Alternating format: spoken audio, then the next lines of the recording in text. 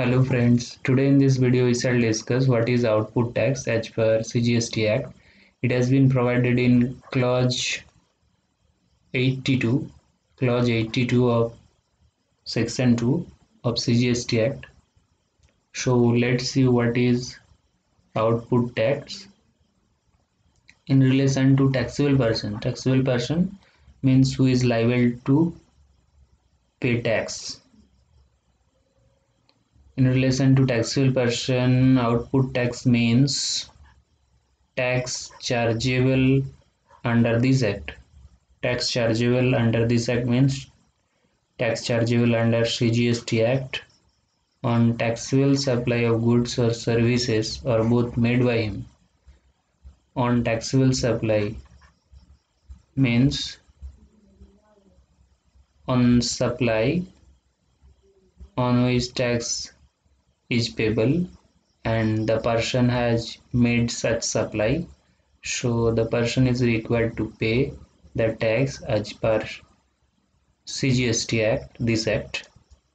So supply made by him tax payable on supplies made by him and supplies made by his agent.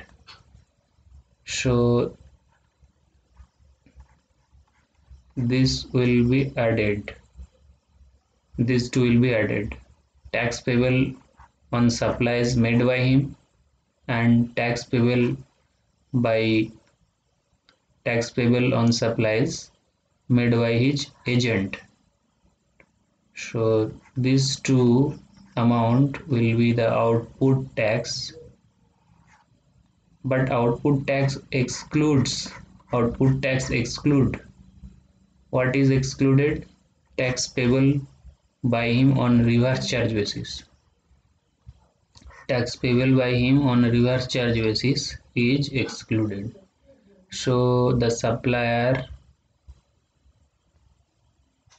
is required to pay on reverse charge basis required to pay tax on reverse charge basis. This tax amount is excluded while calculating output tax.